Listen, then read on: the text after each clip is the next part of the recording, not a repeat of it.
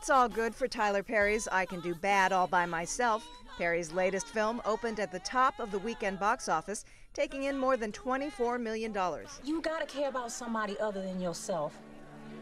You don't know me, man. It's about a hard drinking nightclub singer forced to care for her delinquent niece and nephews. They broke in my house, broke my windows, broke my VCR and thing trying to steal something. It also features Perry's cross dressing alter ego, Madea.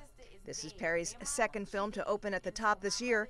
Tyler Perry's Madea Goes to Jail debuted at number one in February. Number two is the dark animated Nine, which made an estimated $10.9 million. That raises its take to more than 15 million since it opened Wednesday. The voice cast includes Elijah Wood, Christopher Plummer, and Jennifer Connelly as dolls who represent the last vestige of humanity after a war between man and machine. We're going to be doing one thing and one thing only killing Nazis. Inglourious Basterds is third. The Quentin Tarantino Brad Pitt film Yes, sir! took in an additional $6.5 million. You can't stay here. But you said. I'm a guy. We say things we don't mean. All About Steve is fourth, earning 5.8 million more. I keep having these visions.